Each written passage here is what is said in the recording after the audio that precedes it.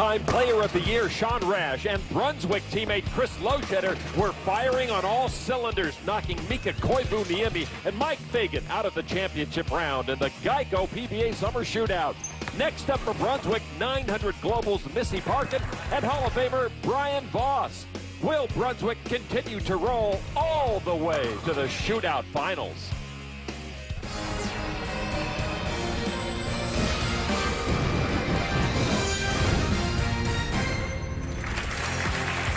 Welcome back to Chicago and the 2012 Geico PBA Summer Shootout. Lon McEachern along with Randy Pedersen inside the 10-pin bowling lounge as our shootout stepladder finals continue. Track took the first match over Columbia three-pin lost to third-seeded Brunswick. Now in match number three, it's the second-seeded 900 Global team taking on third-seeded Brunswick. So we'll see Player of the Year Sean Rash and his partner Chris Loschetter taking on Missy Parkin and Hall of Famer Brian Voss. There is Sean Rash.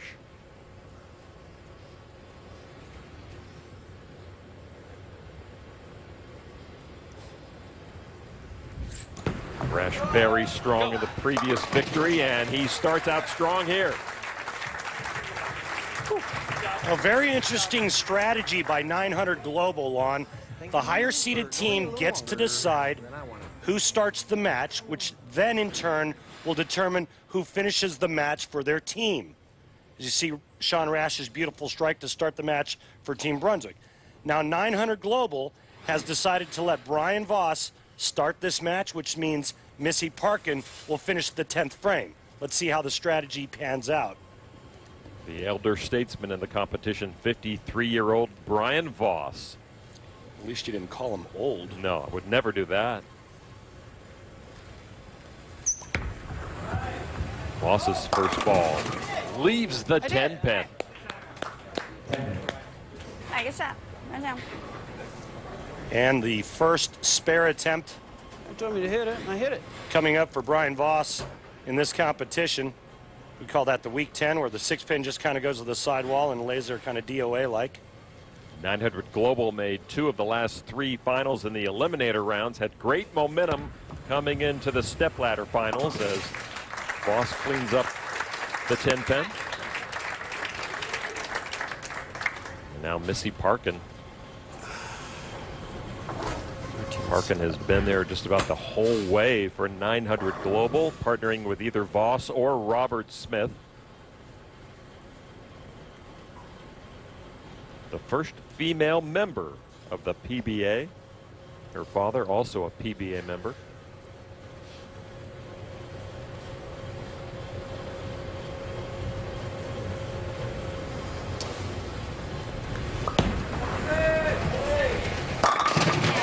And Parkin with the strike.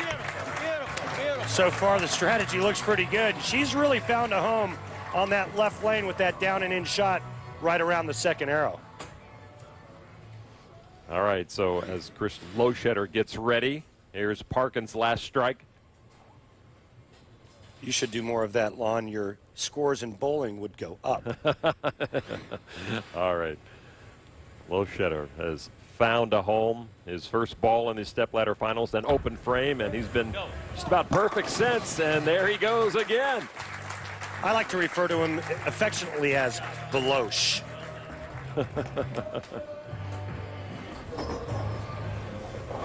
so a good start for Brunswick. Strike, strike. Sean Rash back on the approach. He came up big time in the 10th frame of their last match when he needed a good mark and count and just threw it dead flush. Kind of like that. Exactly like that. Three in a row for Brunswick.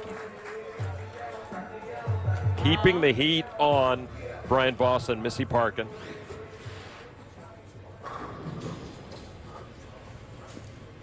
He liked that one. Oh, but then he went and sat down. It looked like he had something in his eye. He's working on that right now. But after throwing that ball, why would you change anything? even your vision, if it's obscured even. All right. Brian Voss once again.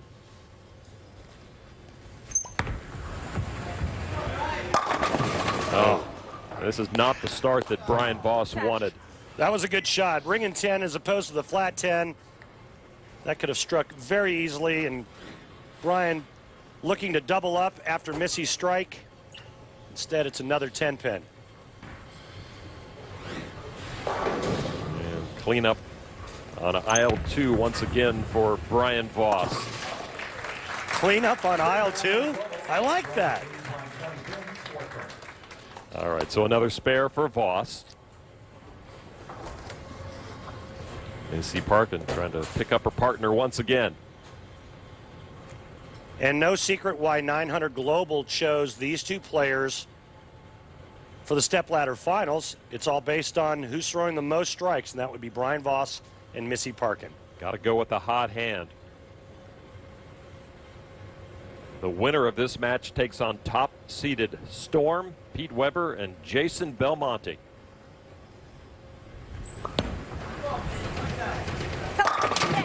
Parkin is solid once again. Two spares for Voss, two strikes for Parkin, but it's Brunswick who holds the early advantage in this match. Back to Chicago in the Geico PBA Summer Shootout. He's Randy Pedersen. I'm Lon McEachern in the midst of match number three of our stepladder finals. You know, 900 Global made the finals in two of their last three eliminator rounds to earn the second seeding, but they have their hands full against Brunswick here. Yeah, all the momentum is in the corner of Brunswick. Uh, we saw Chris Loschetter open his very first ball that he threw on television in the stepladder finals, and he hasn't missed since. They also have the reigning player of the year on that team. They've got all the momentum on their side, and they're perfect through three frames in this game. All right, in the lane right now from Team Brunswick is Chris Loschetter. The Loesch. The Loesch. And boy, what a bounce back, as you mentioned, he has had. They stuck him in the lineup. He opens up, and they all went, ah, what are we doing? Such a good kid and, and such a great bowler. Hard to believe he hasn't won a title yet out here.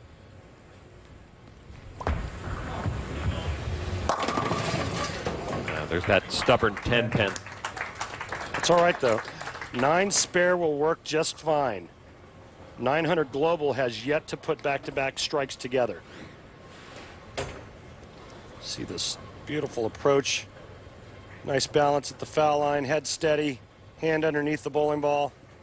A little body English to try to wiggle that 10 pin down. Takes it out, and there is the nine spare for Brunswick and Loschetter. They hold a 19 pin advantage still on 900 global. 900 the better seed coming into this match, two against Brunswick's third seed. Now our current player of the year beat out Mike Fagan and Jason Belmonte in the voting. We'll see Belmo in the next match, the championship match. Rash working on two strikes of his own, but a spare of Loschetter. There's maximum points for Loschetter's spare. Pretty solid by Mr. Rash, the reigning player of the year. He is perfect in this match. Nothing but strikes for Sean Rash. Still a great shot. Well, Brian Voss, the elder statesman here, voted in the Hall of Fame back in 94, which means he's got a lot of experience to call upon. But to be uh, be the old guy here, you know, uh, uh, I'm getting used to that. Really, it seems like uh, everywhere I go, when when uh, the qualifying's over with or whatever, we're all standing, and I'm always the oldest guy there. But I, I, I'm proud of that. And the smell of Bengay gives it away, too. He does have a mixed doubles title. And so he should be a shoe in to be here in this match with Missy Parkin. And Brian Voss gets his first strike of this match. He's hit the pocket, all three shots that he's thrown. He finally gets the 10 pin out. I've seen that form there win a lot of titles and a lot of money over the years on the PBA Tour. Over the many, many years on the PBA Tour for Brian Voss. What are you trying to say, Lon? Not saying he's old. Hey, All right, his teammate Missy Parkin. Parkin with two strikes of her own in this match. He doesn't like this one. It's all right. An eight count. right with that. Boy, they know right away, don't they? they do. As soon as it leaves your hand, a, a top-notch player can tell you if it's going to hit the pocket or not. And after throwing two perfect shots, this one here, well, it's pulled left. Almost the big four there for a split second. The 610 goes late. Leaves her an easy spare attempt at the 4-7. Parkin fortunate just to have those two left.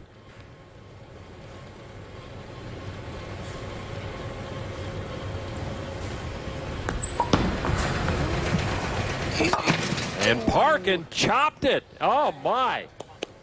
And she opens up here in the sixth. Unbelievable and inexcusable. A very easy spare attempt. Cross lane at the 4 7. She tugs it left again. And Cherry picks the 7 off of the 4. So after that miss by Parkin Team Brunswick knows if they can keep their foot on the accelerator, they have a very good chance of moving into the championship match. Here's the Loesch.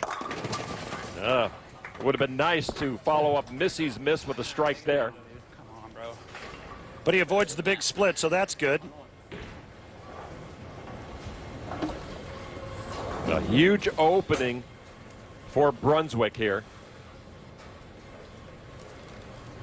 Chuck Gardner, one of the Brain Trust members who put the Loesch in the lineup. Another spare for Loesch. Well, it's rash time now. He's been pretty much automatic this entire match.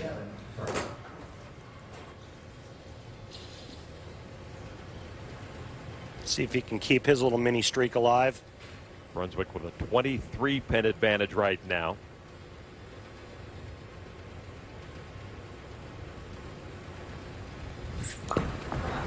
Go. Not happy with it. Yeah, he leaves two.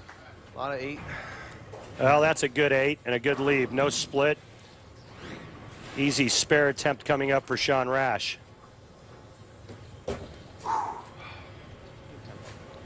Seven pin was standing there for a split second. He's glad it went down. Well, Brunswick not exactly stomping on the accelerator pedal. But Rash does pick up the spare there and keeps their advantage at 21 pins. The old guy, Brian Voss, needs to light a fire under his team in the final frames to try to make their way into the championship. From Chicago, this is the Geico PBA Summer Shootout. Welcome back to the 2012 Geico PBA Summer Shootout. From Chicago, we go up to the Sky Deck on the 103rd floor of the Willis Tower in Chicago. It is not for the faint of heart, but you do get a unique view of the Windy City from 1,400 feet high. You can almost see your house from there, Randy. There is the PBA Manufacturers Cup. Just three teams left with a chance to claim that piece of hardware. The only way you're getting me up there is if you give me a parachute. I don't care how safe you tell me it is, Lon. I'm not doing it. Brian Voss and 900 Global trail by 21 pins to Team Brunswick right now. A strike for Voss. He's locked in now. After a couple of 10 pins, Brian Voss has found a way to knock all 10 down. That nice direct line straight to the pocket. All Voss's experiences has opened up an avenue to teaching the game to new students. Mostly international teaching. You know, I, I have some appearances here in the States, but, um, you know, I just recently was on a trip in uh, uh, Munich, Germany, uh, Slovenia. Uh, I go to Greece quite often, uh, Austria, uh, Switzerland a couple of weeks ago. Uh, th- there's just uh, a lot of interest in, in, uh, in what I have to offer and, and uh, you know, just, just, just teaching people how to try to beat me. Well, that's the only thing he's not successful at, I think. Teaching people to beat him. Still a very strong bowler. is Brian Voss. Now, Missy Parkin, the first female PBA member, as we mentioned, her dad, Frank Bellinder, a longtime PBA member. Coming off of an open frame, she needs to get refocused and come back with one of those great strikes she threw earlier in this game. It's getting late. Eighth frame. And she leaves a mini split. Run it down. Run it down. Second consecutive pulled shot for Missy Parkin on that left lane, and 900 Global cannot afford another open frame.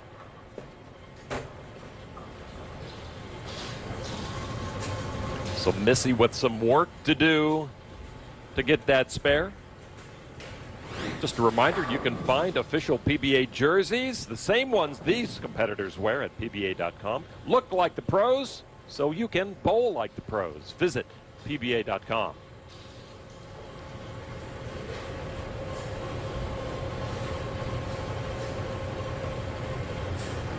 Missy Parkin's team trailing by 21 at the moment.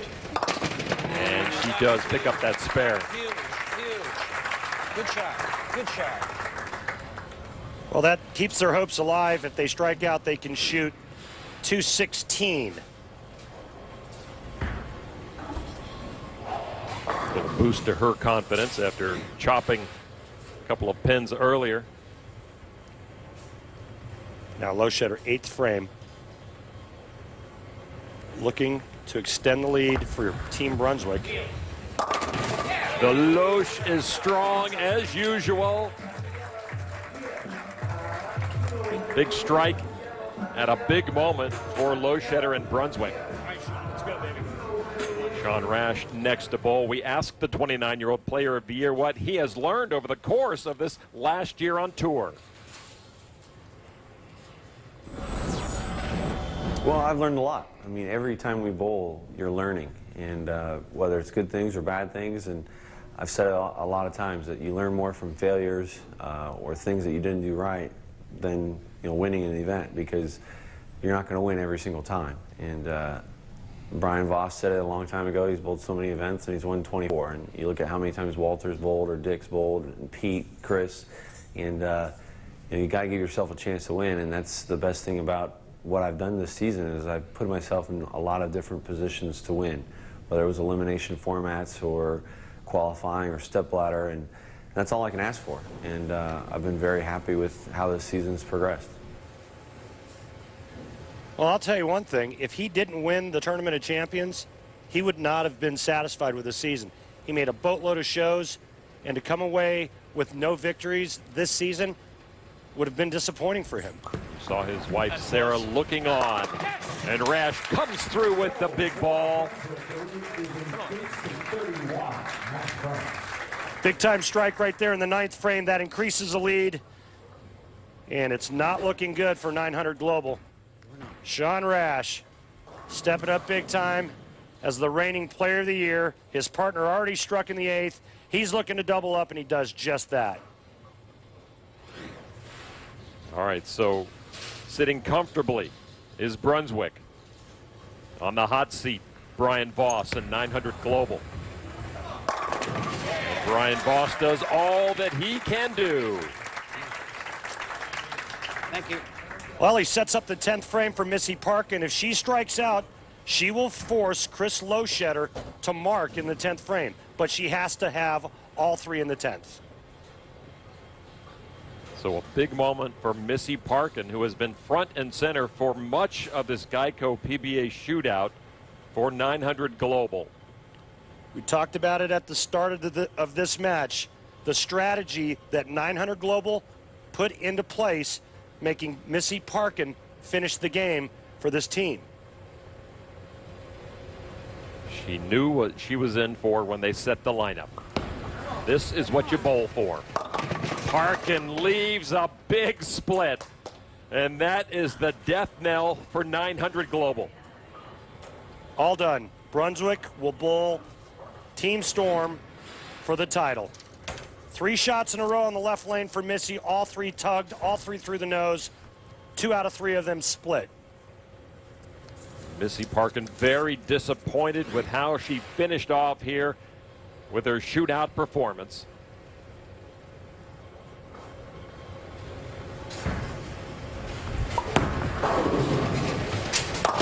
Parkin gave it a good kick, but could not bring down the six pin. And that spells the end of the shootout for 900 Global. Brunswick will advance to the finals. Deloche still coming up big. Player of the Year, Sean Rash, still bowling like a player of the year. We'll wrap things up from this match in just a moment. Come on back to Chicago. Back inside the 10 pin lounge. Just desserts have just been served to 900 Global.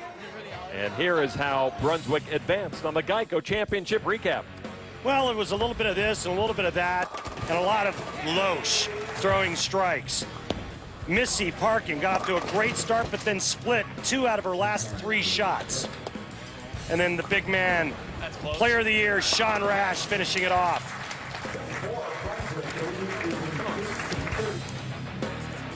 That is your Geico Championship recap. One match left. Brunswick, the third seed, will meet top-seeded Storm. That match coming up shortly on ESPN. Randy is with our winners. All right, well, Team Brunswick continues to ride the gravy train with biscuit wheels. Sean, I'll start with you since I dished you last time. How are you guys able to manage not only your games so well, but this oil pattern? Well, you know, the biggest thing is just trusting each other's instincts and moves. And uh, Chris and I have been, become great friends over the last couple years. Our entire team works together constantly on making sure we know how to play every part of the lane. And, uh, you know, Ryan and Chuck sitting back there telling us when to move and what to use. And uh, teamwork is what teamwork is, and that's why we're being successful. Thanks, Sean. Chris, looking ahead now to the title match, one game away from winning this whole thing, but you're taking on a team that's completely dominated this event. How do you get in their heads? Just keep doing what we're doing. We're going pretty good right now. So, uh, you know, Sean's looking real good. I'm feeling pretty comfortable. So just keep striking, baby. That's it. I like it. Good luck. Can Rash and Loschetter take out top-seeded Team Storm with Pete Weber and Jason Belmonte? That match is next. This has been a presentation of ESPN, the worldwide leader in sports. For Andy Pedersen, I'm Lon McEachern. We'll crown a champion of the shootout next.